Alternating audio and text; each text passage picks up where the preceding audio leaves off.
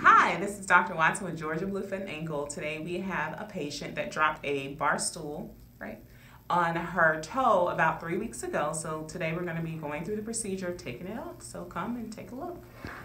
She's already known, so you don't have to worry about her yelling out.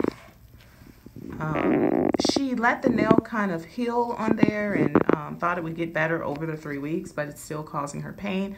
So when these things happen, you need to come immediately in because you may have a cut under the nail and bone exposed.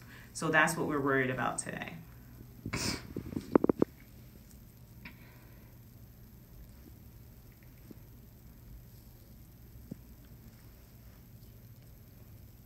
She does have a fracture. We already took an x-ray um, that's displaced.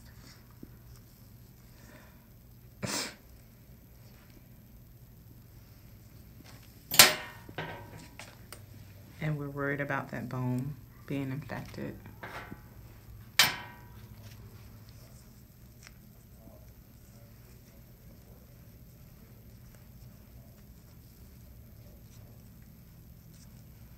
cleaning all the crud off of it, give it a good healing base. And as you can see,